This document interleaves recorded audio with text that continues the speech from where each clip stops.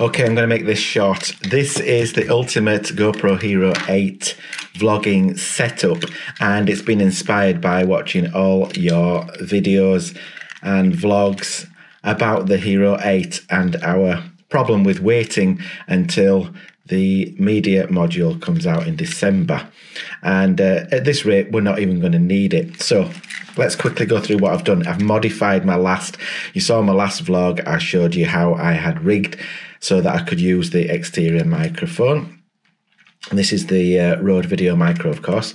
And I have actually, in case you think it looks quite small, I've kind of squeezed it down, put a cable tie around there, and trimmed it. Um, I'd be careful if you if you're going to do this because you might find yourself ordering a new wind muff. Um, I did. This is the second version. Um, I trimmed it down too much the start. This is the minimum that you're going to get away with, and it does make it a lot smaller. So, uh, with caution, I would do that. Be prepared to uh, to regret it.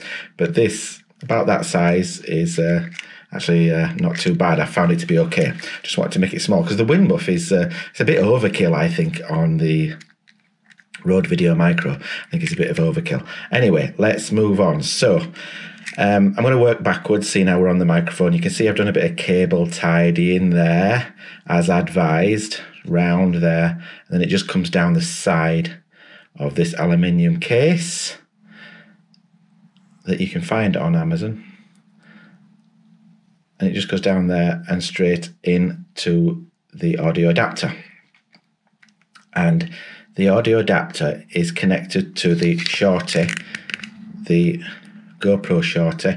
It's connected to that, and you can see I've just crossed over a couple of cable ties. There they are, there. Crossed over a couple of cable ties around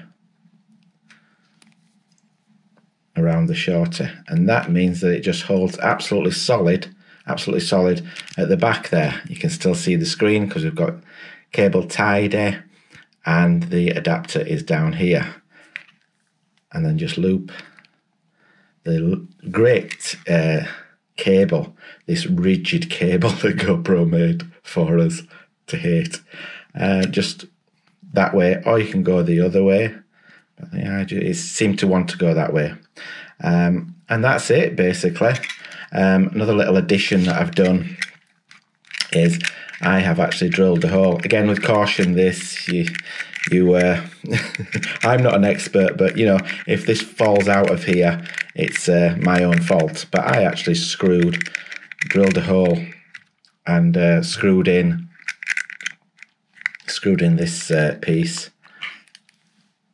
and it holds absolutely solid. And connected one of these. And what I can do then is connect a strap onto there. And then put my wrist through there like that. And that's it. You're vlogging. Excellent. Pretty decent is the shorty. Because it's got a cold shoe at the side there this case has a cold shoe we can attach a light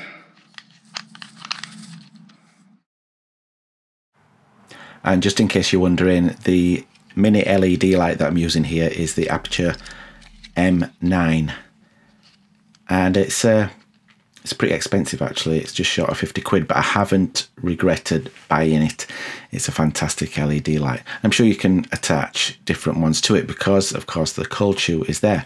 So that's about it. What do you think of the ultimate GoPro Hero 8 Black vlogging setup?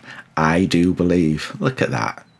Can it be improved on? Can it? I'm sure someone can improve on it. Do we actually need the media module? Maybe not. Uh, I tell you what, uh, the more and more I tinker about with stuff, the more and more I think I'm not going to need it. So that's about it.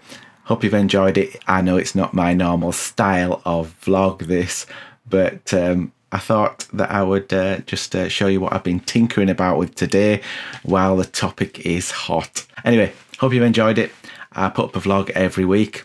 I put up a, a little bit more this week, but uh, yeah, I put up a vlog every week, so consider subscribing. And until the next one, bye.